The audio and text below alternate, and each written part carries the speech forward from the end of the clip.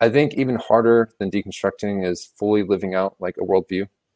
And so, interesting. Fully living out this um, Christian ideal of deny yourself, take up your cross, follow Jesus, or fully living out this, you know, poetic naturalist ideal of um,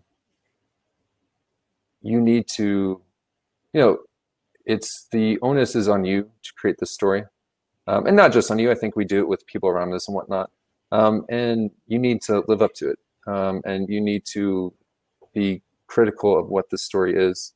Um, and so, I, to me, the harder part is almost once you've landed somewhere is almost living fully in that um, versus the actual deconstruction process. Um, yeah, I that's actually if I can just add that I think recently that's one thing that I've really um, seen that I've not done a good job. That I think sometimes for me, like the deconstruction was, and th- this is just me. Um, it was almost an excuse um, hmm. to step back, and I think there were times when I was not a good friend, I was not a good husband, you know, I was not a good um, son and whatnot, um, and that those things just were not, um, unfortunately, um, as important to me and I was really stuck on does God exist or not, and less so, um, yeah, in my caring about the people around me. So,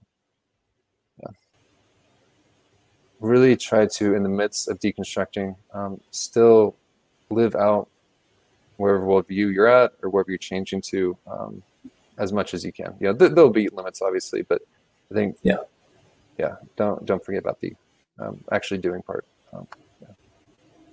Whatever worldview we choose, um, really take that worldview seriously. Um, I think that's something I'd say. I think I learned at least from some Christians is really take it seriously um, and have a worldview that is going to, um, you know, I think uh, be uh, critical and have spaces for you to uh, um, reflect on your own life and where it's going. I think also on the other hand, uh, worldviews, I think they're models and they have, you know, they're great um, until they reach their limit and they stop being useful. And so I think also being willing to um, part with them um, when they get to that point, um, or not necessarily part with them wholesale, um, but go a different direction on certain points. So.